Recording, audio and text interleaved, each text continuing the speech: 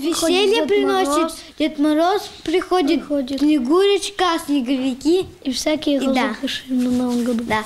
И, конечно, подарки. В ожидании новогоднего волшебства воспитанники третьего детского дома живут все последние недели. Вместе с воспитателями уже успели украсить группы, нарядить елки и написать самые искренние в жизни письма Деду Морозу. А Я большую миску розового хочу. А ты, Алеша? А я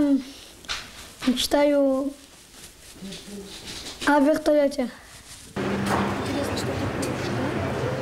А вот эти же мечты, но уже на открытках, украшают обычные, на первый взгляд, елки. Но здесь их называют чудо-елки. Сразу в нескольких торговых центрах Вологды сегодня стартовала традиционная новогодняя акция. Ее организатор, компания «Макси», предлагает всем вологжанам выступить в роли Деда Мороза и исполнить детские мечты. Каждая такая елка сделает счастливее под Новый год 15 ребят. Причем, что самое интересное, никто из них не мечтает о дорогих подарках, компьютерах или телефонах.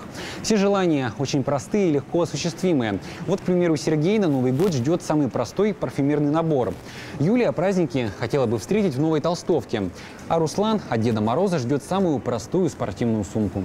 Подарок можно отнести к администратору торгового центра, и в преддверии новогодних и рождественских праздников его обязательно передадут воспитанникам детских домов. Такая акция в областной столице проходит уже несколько лет, и с каждым разом волокжане все активнее подключаются к исполнению детских желаний. Были случаи, когда в новогодний подарок клали связанные рукавички, варежки и носочки. Э, было, когда дарили целые коллективы, то есть покупают подарок и дарят. И в каком-то году, к сожалению, не помню в каком, э, мужчина купил сразу 12 сладких наборов в дополнение к подарку тому, который просил ребенок. Чудо-елки уже установлены в трех торговых центрах города – Оазисе, Форуме и Макси на улице Горького. Там они простоят до тех пор, пока не будут исполнены все детские мечты. Прошлом году волокжане справились с этим всего за неделю.